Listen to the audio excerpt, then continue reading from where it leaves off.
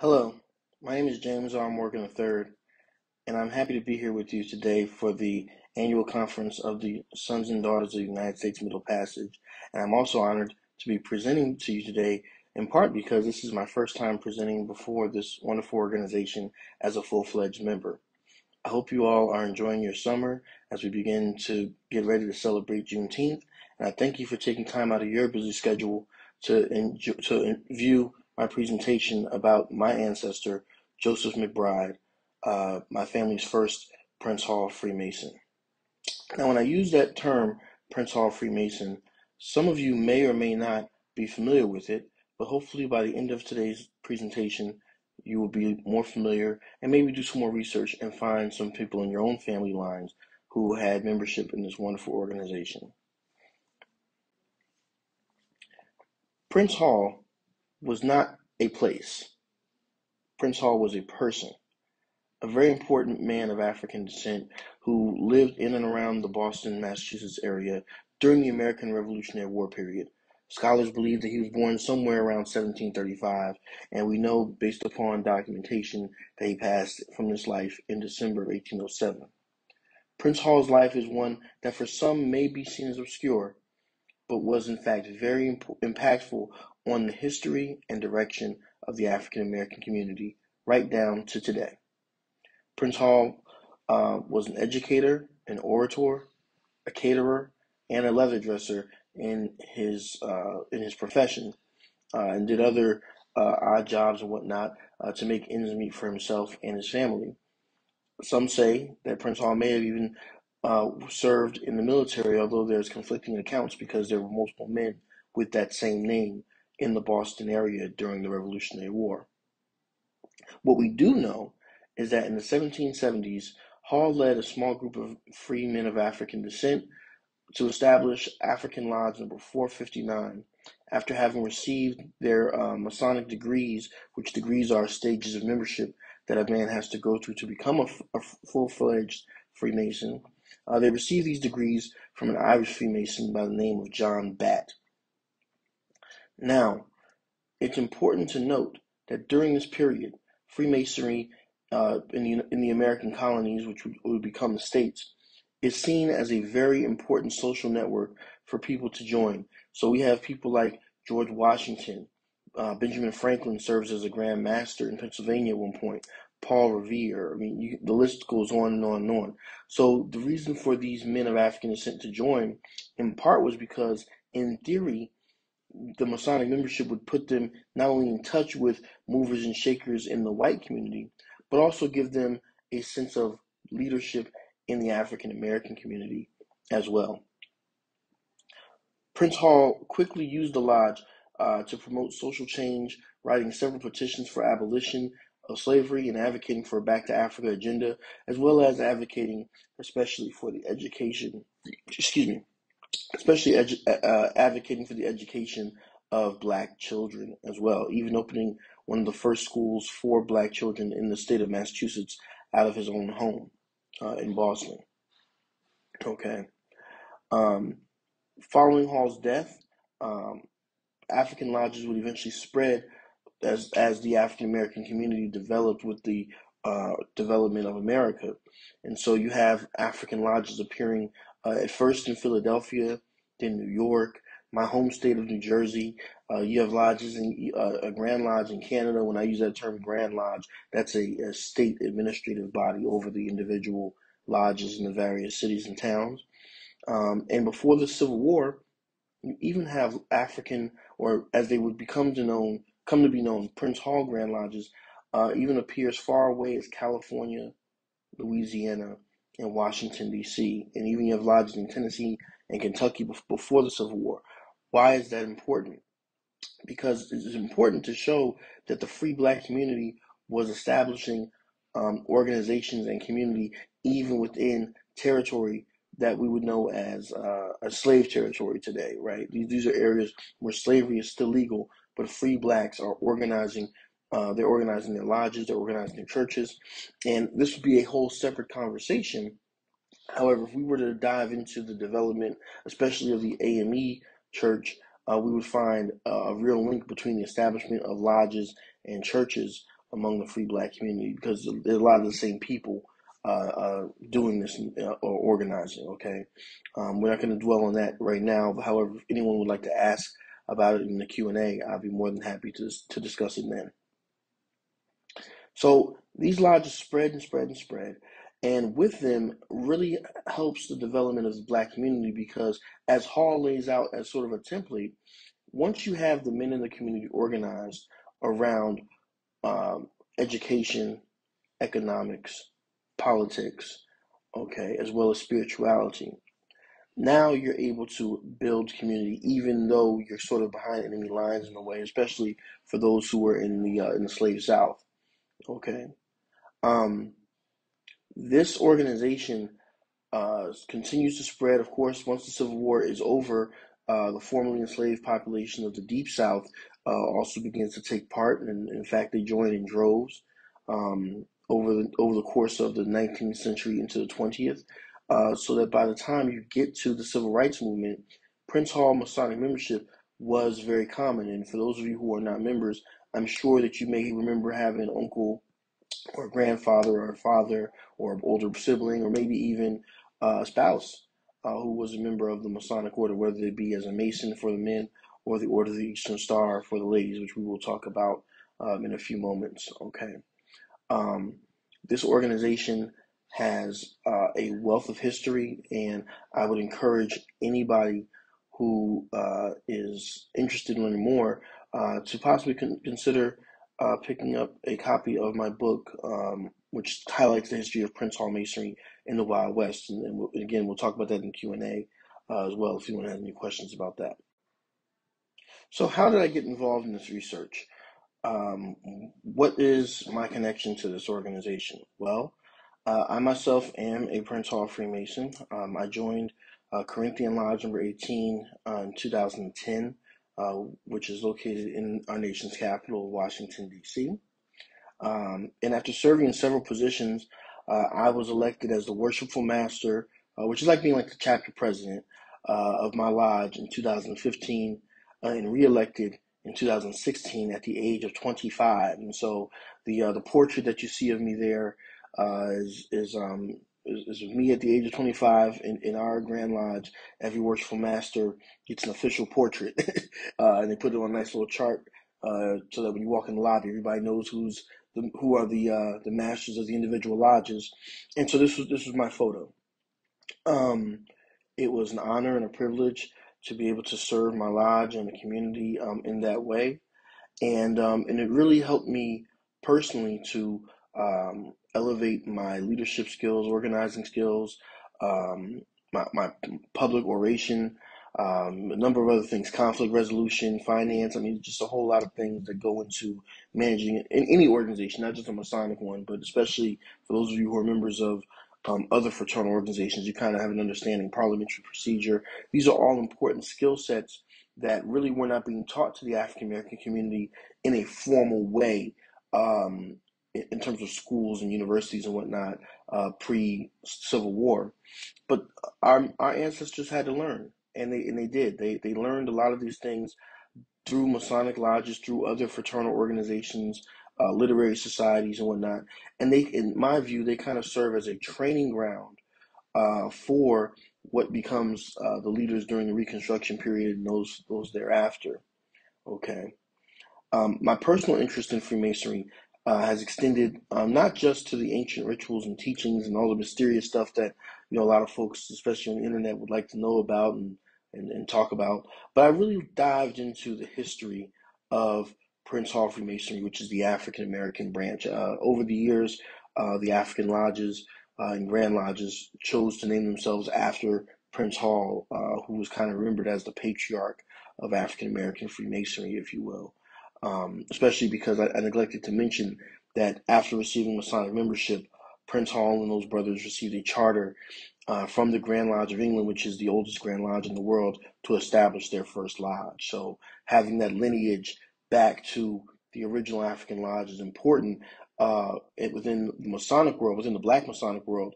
Um, and it also, in a way, kind of informs a, so, a, a, sort of social genealogy, if you will, um, or an organizational genealogy. So every Prince Hall Mason Uh, if, if a man says he's a Prince Hall Mason, he should be able to tell you what lodge he's from, where that Grand Lodge is, and how they descend back, you know, go, uh, going back and back all the way to that original African lodge, okay?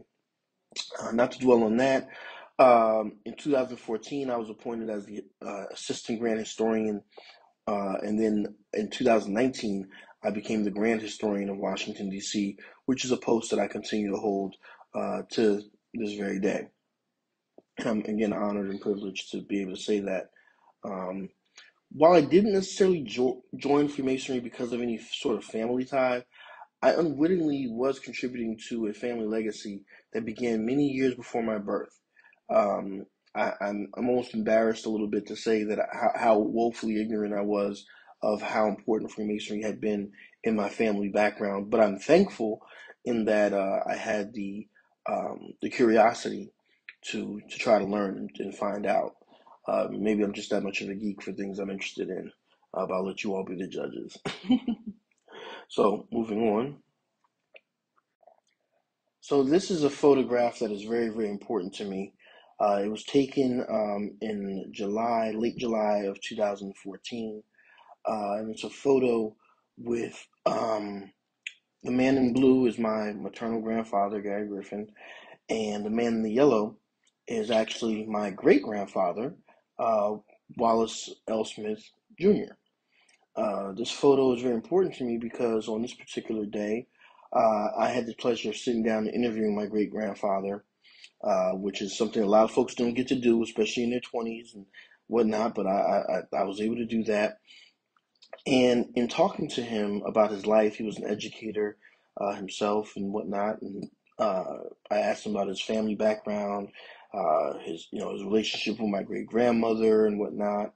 Um, one of the questions that I asked him was about uh, his fraternal affiliations. Uh, both of these men um, are members of um, of Alpha Phi Alpha uh, fraternity, um, uh, which I'm, I'm not a member, but but I have a lot of alphas uh, my family as well, uh, including my younger brother.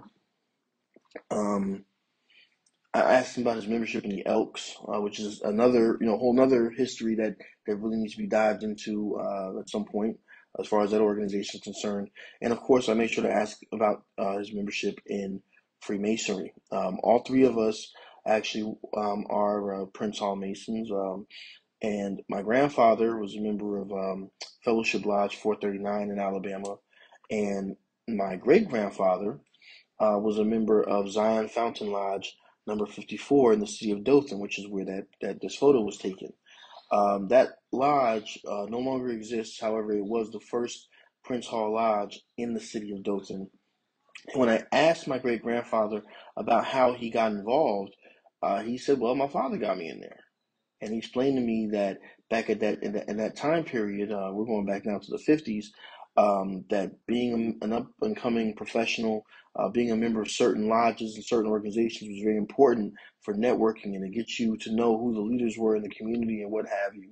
Um, I, I, would find out on this day that um, not only was his father involved, but so was his father-in-law. Both of his, his mother and father-in-law were were, were connected to the Masonic order um, as well. And, and on, I, I had no idea when I woke up that morning that I would discover that my great great grandparents on several sides were, were were members of the same organization that I that I was a part of, and I, I neglected to include the um, some photos from the uh, family cemetery um, uh, in this presentation in the interest of time.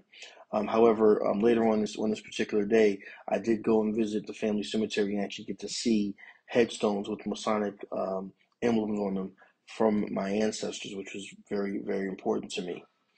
Um, another thing that I would just kind of note, especially for our, our newer genealogists around here, is that um, this day um, that I did this interview was actually seven days to the day before my great grandfather would pass from COVID 19 infection. Um, and so, if you have those ancestors, um, those those parents and grandparents and aunts and uncles and cousins out there who are up in age, please do not take them for granted. Please make sure you get to write their stories down. Uh, I actually videotaped my great grandfather uh, on this day, and um, just, there's just so much knowledge that when they go, that goes with them, and and and um, I would encourage you all uh, to please make sure that you do that. I'm so glad that I that I sat down with, with him and and did that on this particular day. So on this particular family line, uh, we actually trace back. Now I'm a Morgan. I have my father's last name. Um, this is my my maternal side. Um, my grandfather he took the name of the last name of Griffin because uh, he was actually raised by his own grandparents on the Griffin side. Uh, my great grandfather here is actually a step a step great grandfather, but you know we, we don't distinguish in our family between the two. Uh, but in talking with my, with my grandfather about the family lineage going back and back and back, he, he he told me about one particular family line that I descended from, which I just always thought that the name was really interesting. Some of you may have the name in your own families, I don't know, but uh, he told me that we came from a guy named Joe McBryde. And I was like, McBryde, I had never heard the name before. I just always thought it was kind of interesting. And so I really wanted to dive into, you know, where was this family from? Who were these individuals? And, uh, and that's what we're going to get into talking about right now. So, in the essence of time, I won't, I'll spare you all of the details. However, uh, the McBryde family lineage, as far back as I can take it so far, uh, actually starts with a couple known as Henry McBryde and Mary Cade. Uh, Henry McBryde, uh, maybe a little too small for you to see here on the slide, but Henry McBryde was born uh, in the 1830s. Uh, the 1870 census actually states that he that he was born in the state of Maryland, which is where I live now, uh, and uh, the other census that he appears in, the 1880, 1900, and I believe 1910, um, actually states that he was born in South Carolina either way, uh, it's it's really interesting. Uh, his wife Mary Cade, um, she actually was born in Georgia according to the census records, uh, and they had several children together. Um, and you can see them here on this chart: uh, Frank, Jack, Joseph, who's the, uh, the the primary topic of our discussion today, um, Harry, Prince, Emma, and John Henry McBryde. You see their spouses, the ones who I've located thus far. Um, today we're going to focus on Joe McBryde. Um, however, I do want to just take a quick detour to give you an understanding about how civil and civic engagement has been a part of my family lineage going back all the way to the beginnings of the years of freedom, as, as they were called.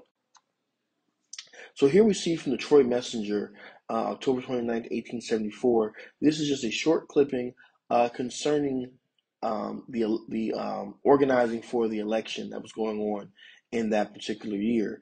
Um, and you can see here uh, where it says Spring Hill beat number four. So we're now in Spring Hill, Alabama, which is an unincorporated community uh, next to right there where, where Troy, Troy Alabama is. Um, you see the name of, uh, of Henry McBryde uh, colored, and you also see the name of Frank Ross colored. Frank Ross is actually another direct ancestor of mine on a slightly different divergent branch, but that but the, both of those men uh, actually were direct ancestors of myself, which is really cool to see them together on one document doing this this kind of political work. Um, and you can see the article states that the above inspectors and returning officers are requested to have a copy of the acts of the General Assembly of Alabama of 1872 and 1873 present at the voting precinct, um, and it goes on from there. Um, but it's very important uh, in my view, that we that we show this because it's showing that um, even though we know that um, engaging in the vote, engaging in politics and whatnot was not always easy for black people, that our ancestors still did it. And specifically today, we're talking about my ancestors, but I'm sure that some of yours, many of yours, uh, did so as well to varying degrees, and many times at the at the risk of their own lives. In fact, uh, this is a whole other presentation, but many of them lost their lives just trying to express their political voice. Uh, and so I wanted to make sure I gave honor to that as kind of a prelude, if you will, to the story that we're going to talk about with Henry, with Henry's son Joseph um, in a moment. Um, another interesting thing about Henry McBryde was that, uh, according to this article, which is again from the Troy Messenger uh, in February of 1911, it states uh, that he had passed the century mark. Uh, quote, a coffin was sold here yesterday for a Negro over a hundred years old, said Adolphus Chancey today. The Negro is one of the old antebellum darkies, as was gen- as and was generally known about Spring Hill. His name was Henry McBryde. No one seems to have known exactly how old he was, but for some time it has been conceded that he had passed the century mark. Now, according to my research, Henry McBryde was actually probably in his 80s, um, and there's a whole again a whole other discussion about this idea of um, very, very, very old, obscenely old black people and fetishizing that and whatnot. And again, that's a whole other discussion. But I did want to note that Henry McBryde's death was actually noted in the newspaper um, because of his age and also because of how uh, active he was in the community um, in in and around Troy at the time. Now, moving on, let's talk about my connection to Joseph because that's who, who our, our discussion is about today. I know our time is limited. Um, as, as, you can see from this chart, uh, Joseph and Jane McBryde are actually my four times great grandparents. Uh, from, through my mother Deborah, her father Gary, who you saw in the previous slide, uh, his mother Lucille, um, her mother Alma, her mother Alberta, back to Joseph and Jane. Uh, so that so I am a direct descendant of these people, um, according to the census and everything else that I've found, DNA, what have you. This is a part of my roots, um, if you will. And when it comes to my Masonic membership, I've oftentimes called Joseph McBryde uh, kind of my Kunta Kinte figure, if you will. And I think in a few minutes you'll understand why. So Joseph and Jane uh, were natives of the community of Troy, Alabama. Uh, Troy is known today uh, primarily for Troy State University, uh, which is there, which I actually have to thank uh, some of the archivists there, as well as in the local libraries in, in that area, for helping me with my research. Um, I've never actually been to Troy in person, but I'm thankful I'm going to be going there next month. Woo-hoo. Very excited about that. Um, one of the most famous, uh, probably the most famous person ever to come from Troy, actually was Congressman John Lewis. Uh, that's what uh, Dr. King actually referred to him as the boy from Troy. Um, Congressman Lewis's um, Congressman Lewis has a brother who's actually uh, married to one of my distant cousins um, as well. And if for those of you who may have seen his funeral uh, some time ago, there was a young man who was his great nephew that gave a really nice speech about him and his importance and how you would miss him. And it was all over the news at the time. Well, that young man was actually a distant cousin of mine as well, who is also descended from uh, the subjects of our presentation today. So I'm uh, very happy to know that our family has started off small from a little little little small southern city, but we've gone all over the place and, and done a lot of wonderful things. And I'm very glad to be connected to that. We even have an, a, a, an Olympian uh, the family as well, uh, which is really really cool. So this is my favorite photograph probably in the entire world. This is actually you're looking at the faces of Joseph and Jane and several of their children. Okay. Um, this photograph has been passed down in our family from generation to generation. Um, I've even found cousins on online via ancestry and social media who themselves have their own version of this photo or a copy thereof, and it's really really cool to know that um, I'm I'm literally looking at the faces of our of my ancestors. Uh, Joseph McBryde actually would have been born a few years prior to the Civil War, so he technically was very, very likely born enslaved um, in uh, the city of Troy. Um, according to my research, he was most likely enslaved by a man named Reverend William Julius McBride, who was prob- probably the owner of um, of his parents as well. Um, I don't have the smoking gun, but I have some some, um, substantial some, some uh, subjective evidence that leads me to to believe that. Okay. Um, his wife Jane. Jane was actually uh, quite a bit younger than him. She was born in 1871, according to the census. So she actually would have been born free. Um, I, am still amazed when I look at them uh, how how um, how many children they have. They even have adult children in this photo, and yet the two of them look barely old enough to have you know to, to be ha- making babies themselves. So so I'm hopeful that those genes have passed down so that uh, uh, as I age, I'll age gracefully, as they say. Um, if you look at the woman with the scratch mark over her on, I believe this is my left. Um, that is, if you can see my, if you can see my cursor, I'm not sure, um, but that is my great great great grandmother Alberta um, as well. And this is just a really remarkable photo. Um, in total, uh, Joseph and Jane had 13 children, um, so not all of them are depicted here, but in total they had 13, which is which is you know that's a lot of a lot of black love, if you will. uh, moving on. Um, Joseph and Jane were married in April of 1887. As I mentioned, they had 13 children total.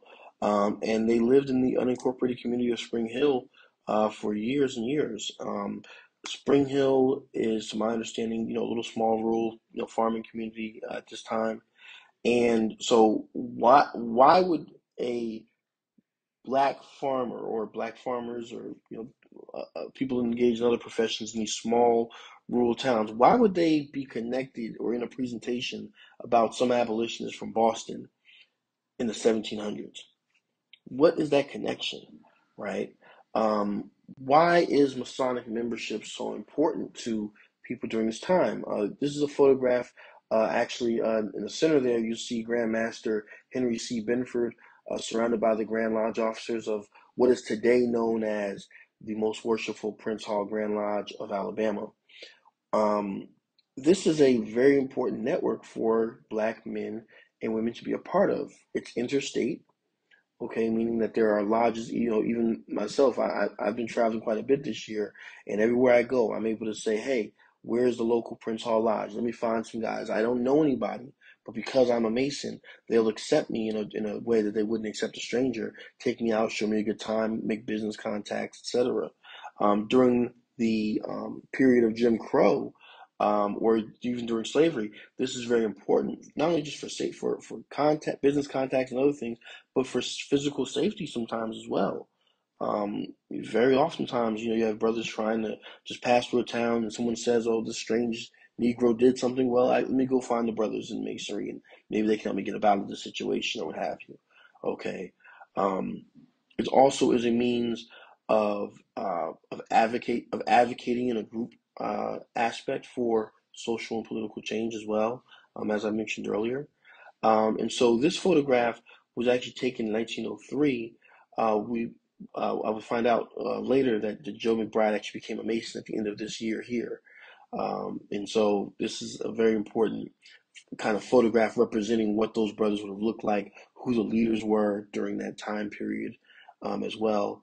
And so we're very thankful to have uh, images such as this um, to contribute to our work. Um, these are two very important um, leaders in Alabama's um, Masonic history. Uh, you saw this is a better photo of Grandmaster Henry C. Benford. Uh, Grandmaster Benford was a newspaper publisher uh, down in in Alabama, and he led that Grand Lodge for that state for many years.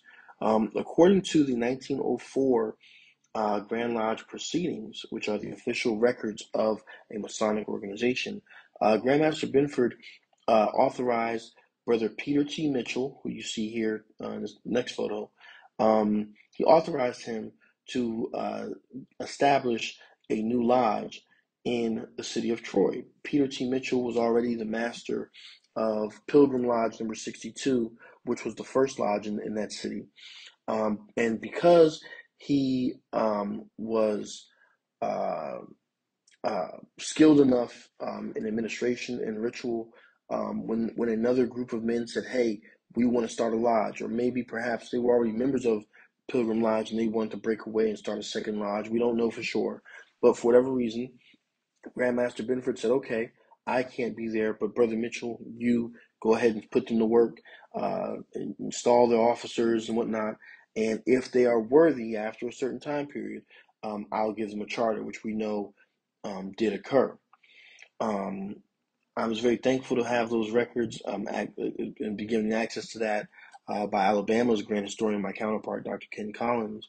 Um, I was actually helping him to digitize um, their records for, for their for their um, own archive in that state, and I, I will admit openly and publicly that um, I was moving a little slower than Dr. Collins would have liked um, because I actually have family roots in the state. And so I'm going through, whereas I'm supposed to be scanning records, I'm reading them and then scanning them, trying to find um, people. And I will admit, when I was going through this particular uh, set of records, I was actually um, looking for another ancestor of mine who I later found. But on this particular day, I did not find him. But as I was going through the records, I found this. Uh, this is another image of Joe, Joe McBryde that I had somebody do. But, but if you look at this officer listing here uh, from the year 1911, you'll see very clearly uh, the names of the officers of Myrtle Lodge number 162 in Spring Hill. And who do we see listed as the treasurer? but none other than Joseph McBryde. This really um, captured me because um, by this time I was on, I was working my way to become worshipful master of my lodge and whatnot, um, and to find out that my great great great great grandfather was a member of this organization um, that he had mo- most likely had been born into slavery with no promises of being connected to anybody's Masonic lodge, let alone you know anything uh, else of social value outside of the profits from from cotton um, and other labor. The fact that he's the treasurer of a lodge that tells me several things. One, it tells me he's literate. Two, it tells me he's dealing with money and you're trusting him with dealing with the money. Um, and three, because I had access to other years of records um, over time, I would find out that he actually started out as the first secretary of the lodge well, when it was established uh, in 1904. Okay. The reason why I'm showing you the 1911 record is not just because of the fact that it was the first one that I found, but out of all the years of of uh, Granddaddy Joe's membership that I have um, a record for, this one is very special to me because if you look two names above his, you'll see the name of Toby Townsend, the third name on the list. Uh, Toby Townsend, who is the junior warden of the lodge, that's what the JW stands for. SW is for the senior warden. Um, Toby Townsend was Joe McBryde's son in law and was, in fact, my three times great grandfather.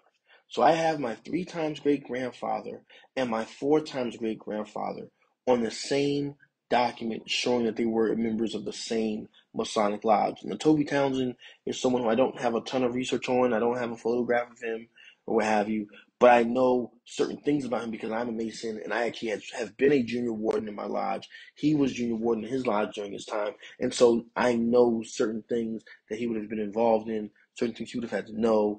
And I know that what it would have taken for those brothers to trust him, to elect him to that position, the same way they elected his father in law. Um, over time, I would learn that several of these other individuals actually were um, relatives by marriage, um, largely. Uh, many of them, in fact, had children and grandchildren who intermarried with the McBrydes. Again, Spring Hill community, not not terribly huge, um, and even more, and, and uh, even with, especially with the uh, the Youngblood family in particular, uh, I found DNA connections and other things, and I, which lead me to believe that some of these men actually were related in and of themselves. And so, um, when you're looking at these type of records, sometimes what you're what you're doing is you're you're getting a list of names that otherwise may not you may not see together. So these men may not all be on the census together, but we know that they chose to be together because they're members of the same lodge. We can't always assume that just because people are on the same census page that they knew each other or that they were even close. Even if you do know somebody, doesn't mean you're friends or, or related per se. But when you see people in organizations like this, these are the people they chose to be around. These are their friends. These are their relatives. These are they have other associations, business maybe even in business. Um, I don't believe I put it in this presentation. However, this lodge is established in 1904. Now, Joe and Jane got married in the 1880s.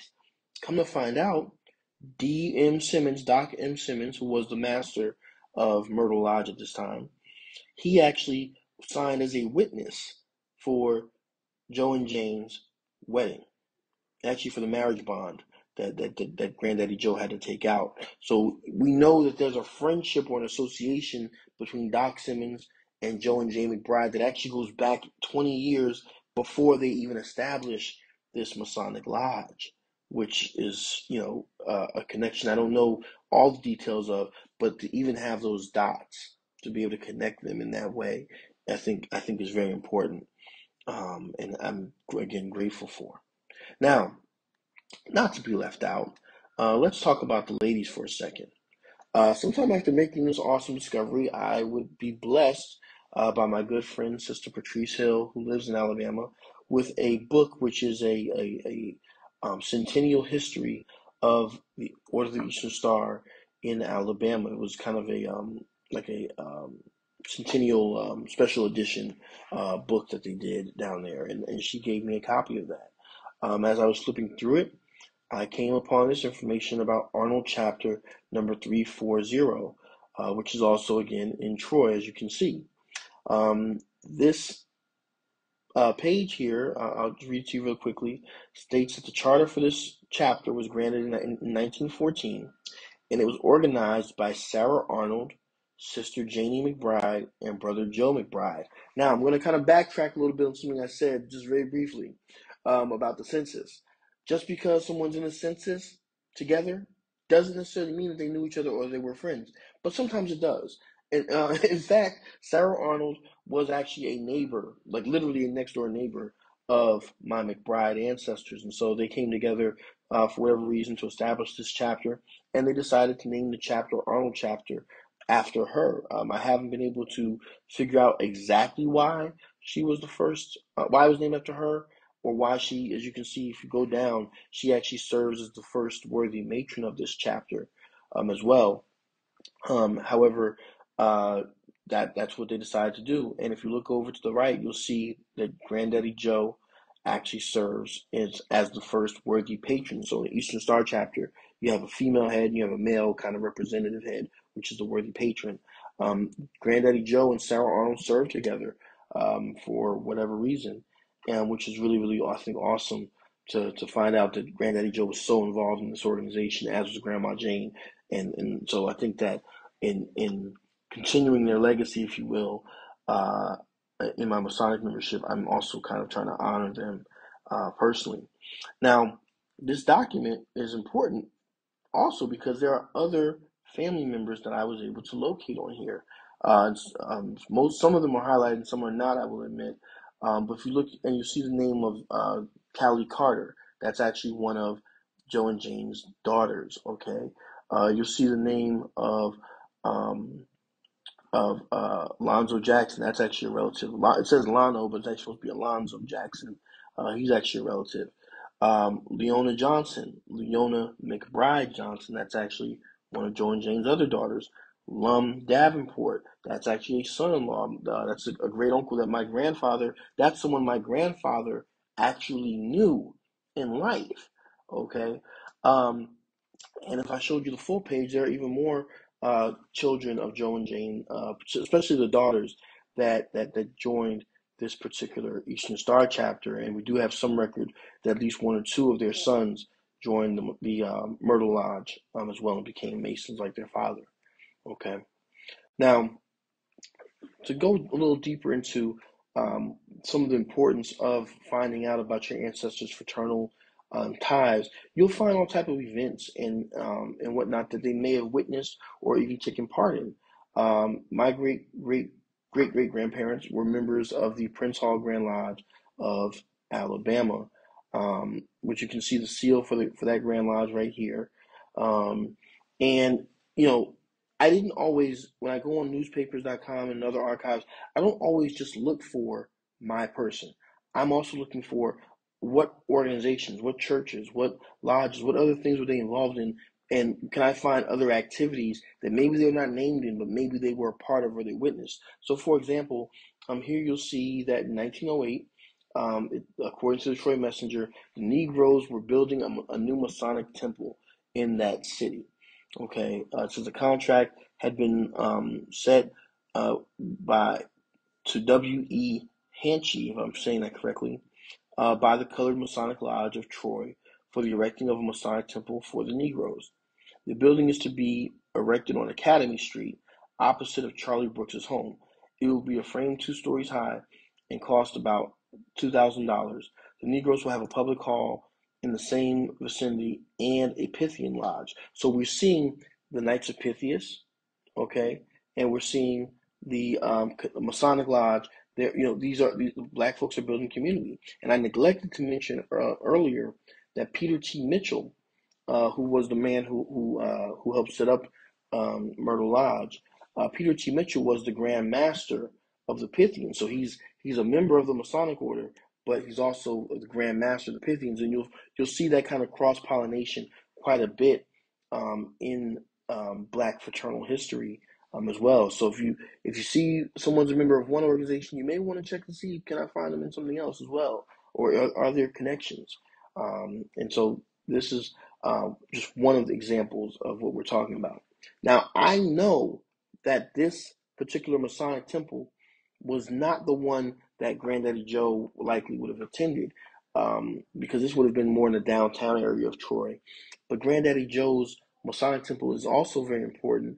Um, it wasn't documented in newspaper as far as I've seen, but it's also very important because the original lodge for Myrtle Lodge 162, the original building still stands, although it's no longer occupied. Um, as I mentioned, he served as the first secretary of this lodge, and um, I actually have um, several relatives, older relatives now, who can remember when this lodge was occupied. Um, the members actually now meet downtown at at, uh, at the other building. uh, so this is kind of an old country lodge. It's kind of just been sitting there. Uh, it's it's um, on land connected to the family church and the family cemetery, but the building still stands all these years later.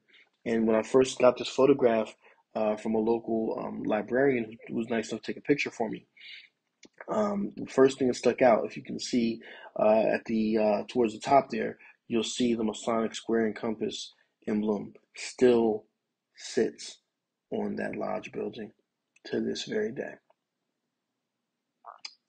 That is, I mean, most people probably wouldn't care about something like this, but for me, uh, you know, when I go down to Alabama next month, um, it'll be my first time in Troy.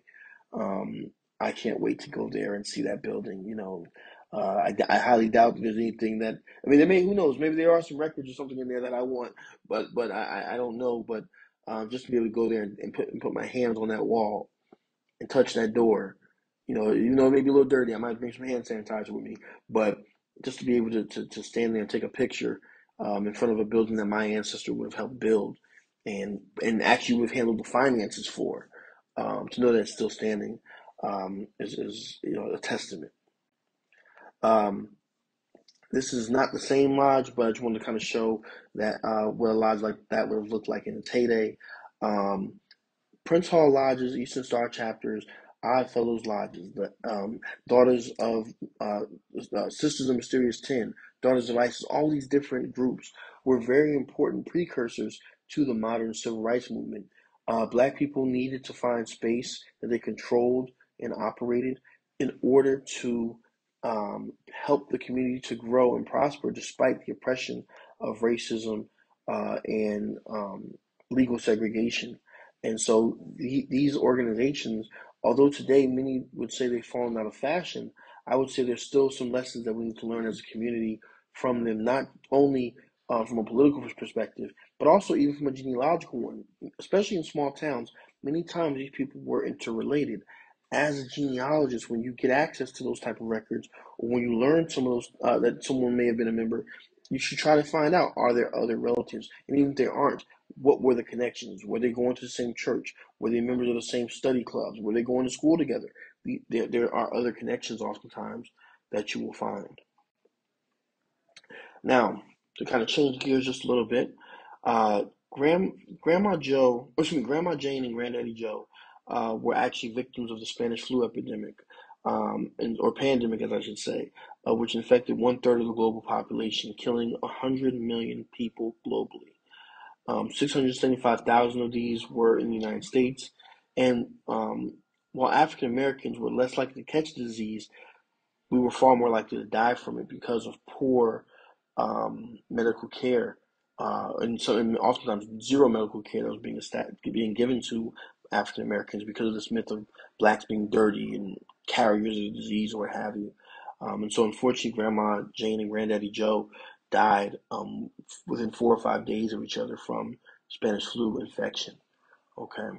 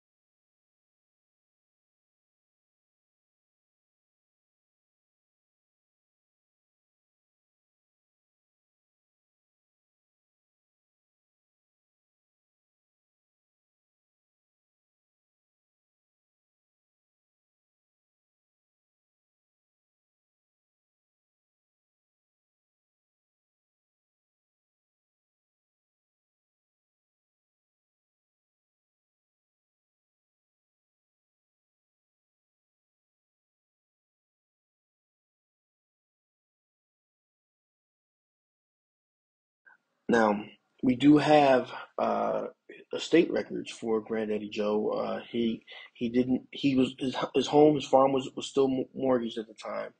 Um, and one of the things that I th- found kind of interesting in uh, in reviewing his, his estate records was that if you look at the highlighted section, says that he had a life insurance policy issued to him by the Standard Life Insurance Company of Atlanta, Georgia, for two thousand dollars. Okay. Now, for me, I, I, try to be a bloodhound with this stuff, as I'm sure all of you are. Um, I want to know about Standard Life, and is, is there any policy slips or something that I can find? Is there any more information? Well, I had no idea. It would circle right back to my initial interest about fraternal uh, history in the black community. You see, Standard Life Insurance Company, which was established by Herman E. Perry, initially started out as the insurance arm of the Knights of Pythias. Okay. Um, the Knights of Pythias and the Grand Knight Order of Odd Fellows, the Prince Hall Masons, these organizations um, oftentimes offered insurance benefits to their members as an impetus to try to get people to join. Um, this is a this is actually the um, the precursor to the modern insurance industry. The idea is that you join a, an organization and they already have doctors and people who are members who they've negotiated special rates for. And if you go somewhere else, you're going to probably get a higher price quote than if you stay within the network right? You've heard this phrase before. For those anybody who deals with insurance for your families, you know about in network, out of network, and whatnot. Well, that very concept goes right back to uh, fraternal organizations and benevolent societies. So the idea of putting money in a pot is growing, being after being invested, and if something happens to you, you'll be taken care of. Okay. Um, the history of early black life insurance uh, companies, as well as white ones as well, goes right back to the golden age of American fraternalism. And so, is it possible that Granddaddy Joe may have not only been a Mason but a member of the Odd Fellows or the Knights of Pythias? Very much so. I don't have a smoking gun, but the idea that he has membership in uh, Standard Life Insurance leads me to say, well, there's there's a real possibility, especially because we know that he knew the Grand Master of the uh, Knights of Pythias in his particular state. It's very possible. Um, but unfortunately, those records have not surfaced. What has surfaced is this newspaper article here, uh, which actually states that Professor G.F. Oliver of Union Springs, Alabama, was here on Monday to pay a $2,000 claim to the McBryde family for the death of Mr. Joe McBryde. Mr. Oliver is one of the representatives of Standard Life Insurance Company of Atlanta, Georgia. Okay, so we know that policy was paid out. And again, you have to think about it. Joe is dead. Jane is deceased. You know, mom and dad are gone. My direct ancestor Alberta and her older sister um, on on Era had to come together to help raise their younger siblings along with their their spouses and what have you. Um, and that is actually documented here. I won't read this entire thing to you, but these are actually um, legal emancipation documents for some of the younger children of Joe and Jane um, their um, in-law, their, their, their male um, relatives, meaning their brothers and their brother-in-laws, actually petitioned the court on their behalf to say, yeah, well, they may be 15 or 16, but they're able to enter into contracts to work and that they would not become a burden upon the state and that the male members of the family were coming together to assure to ensure that they didn't become vagrants um, and whatnot. Um, situations like these, oftentimes the Masonic uh, lodge members often would have came together and put you know put some monies together to give to those children and to take care of the orph of them as they wouldn't be known they would be known as orphans of the lodge right so I wanted to also show that as well that although we don't have evidence directly that the Masonic brothers assisted um, this is a kind of situation where membership in an organization like this would have been crucial to a family especially a family of children who had just lost both mother and father um, you know, it, would have been crucial during that period. Um, today, Grandma Joe and Granddaddy Jane are still together. Uh, they're buried at the Elam Missionary Baptist Church uh, there in Spring Hill. They're buried side by side um, on land that used to be owned by our family. Um, the lodge, the cemetery, and the church are all on the same land. And so I'm thankful that when I go down there to visit with them, uh, that I'll be able to kind of kill three birds at one time just by visiting this one particular uh, site. Um, and so, um, with that being said, um, I, this presentation is, is in honor of their memory and of the family that they planted the seed for. And it's my hope that through the work that I do, that my ancestors see that the seed has grown a, bount- a bountiful fruit uh, indeed. Uh, if anyone is interested uh, to learn more uh, about the history of Black Freemasonry, I do have a book out. Uh, the title is The Lost Empire Black Freemasonry in the Old West, 1867 to 1906. Uh, it can be purchased from, from my website, jamesrmorgan.com. You can also get a signed copy if you would like. And uh, with that being said, I look forward to hearing your questions uh, during the Q&A period. Thank you so much for your time, and I want to thank the Sons and Daughters of the United States Middle Passage for having me this year. Take care.